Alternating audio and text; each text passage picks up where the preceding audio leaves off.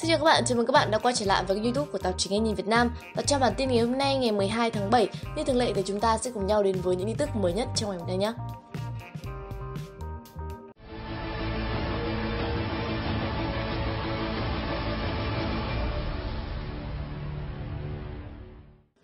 Các bạn mến, chỉ trong năm nay thì Samsung đã giới thiệu ít nhất 9 điện thoại smartphone nằm trong dòng Galaxy A và hiện đang tiếp tục triển khai thêm 3 model nữa. Các báo cáo mới nhất tiết lộ rằng một hoặc hai model thuộc dòng Galaxy A50 cũng sắp xuất hiện vì chúng đã được chứng nhận bởi Wi-Fi Alliance và hai thiết bị với số model là SM A561F và SM A562N có thể là cùng một chiếc smartphone với các phiên bản khác nhau nhưng cũng có thể là hai sản phẩm hoàn toàn khác nhau. Trên thị trường hiện nay thì đã xuất hiện Galaxy A10e, Galaxy A20e với giá bán rẻ hơn Galaxy A10 và A20. Nhiều khả năng thì model mới sẽ chính là Galaxy A50e E và giá rẻ hơn so với là Galaxy A50.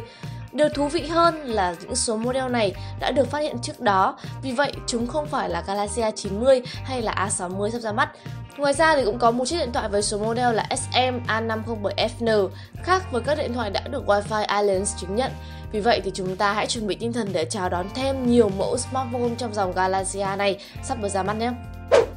còn mến hình dáng của Galaxy Note 10 Plus thì khá là giống với Galaxy Note 10 Tuy nhiên thì phiên bản Plus này dự kiến sẽ có phần cứng mạnh mẽ hơn và thêm một camera ở phía sau Theo dò gì gần đây thì Galaxy Note 10 Plus sẽ có màn hình Super AMOLED 6,75 inch Trong khi Note 10 thì sẽ có màn hình là 6,3 inch Giống như Note 10 thì Note 10 Plus sẽ có màn hình đục lỗ ở chính giữa để đặt cam trước. Các viền màn hình của máy thì khá là mỏng. Tuy nhiên là viền dưới sẽ dày hơn một chút nhưng vẫn mỏng hơn hầu hết các smartphone khác trên thị trường hiện nay. Dự kiến là Note 10 cũng sẽ được trang bị cảm biến vân tay siêu âm giống Galaxy S10 và phía sau Galaxy Note 10 Plus thì sẽ có 4 camera, 3 trong số chúng nằm trong một cụm xếp dọc giống như Note 10. Trong khi đó thì camera thứ tư sẽ là một camera TOF nằm bên cạnh đèn flash và dự tính thì dòng Galaxy Note 10 sẽ không có jack cắm tai nghe 3.5mm và nút riêng dành cho trợ lý Bixby cũng sẽ bị loại bỏ.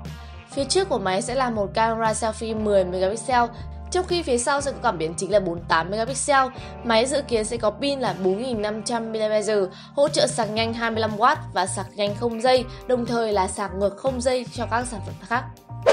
Thiết bị thử nghiệm Home OS sẽ là mẫu Mate 30 và ngay từ màn hình khởi động thì Huawei đã sử dụng hiệu ứng mới này. Hệ điều hành này sẽ có nhiều tùy chọn hơn so với EMUI, màn hình khóa và màn hình chính có thể thêm các tiện ích để truy cập nhanh là Wildcard và các biểu tượng sẽ được thiết kế lại có hiệu ứng động để trông nó nổi bật hơn. Trung tâm thông báo mới, ô tìm kiếm được làm lớn, nhạc chuông, chế độ nhắc nhở đều sẽ được thiết kế lại. Đặc biệt là giao diện chụp ảnh của Home OS thì sẽ đơn giản hơn so với EMUI và có phần giống với Android gốc. Huawei thì đã phát triển Home OS từ 7 năm trước nhưng thông tin về điều hành này chỉ được hé lộ sau khi mà Mỹ đưa công ty Trung Quốc vào danh sách cấm. Nguồn tin nói rằng hệ điều hành do Huawei phát triển sẽ nhanh hơn 60% so với Android, hoạt động trên smartphone, nhà thông minh, ô tô hay là các thiết bị IoT. Thương hiệu Home OS đã được Huawei đăng ký tại một loạt các quốc gia trên thế giới, bao gồm khu vực Bắc Mỹ, châu Âu, Hàn Quốc, Australia. Ngoài ra thì hệ điều hành độc quyền của công ty Trung Quốc có thể có tên là AxOS, nhằm dễ dàng tiếp cận với khách hàng toàn cầu. Vậy là vừa rồi thì chúng ta đã cùng nhau điểm qua những tin tức mới nhất trong ngày hôm nay. Cảm ơn các bạn đã theo dõi kênh youtube của tạp chí Anh Nhìn Việt Nam. Và nếu như bạn có bất kỳ những câu hỏi hay ý kiến đóng góp nào thì hãy đặt nhiều về dưới phần bình luận của video nhé. Còn bây giờ thì xin chào và hẹn gặp lại các bạn. Bye bye!